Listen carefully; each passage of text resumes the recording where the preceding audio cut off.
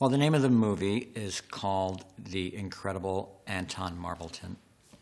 I'm sorry, it's The Incredible Burt Wonderstone. I play Anton Marvelton. And um, this is probably one of the sweetest, if not the sweetest, nicest man I think I've ever played. He's just a real sweetheart.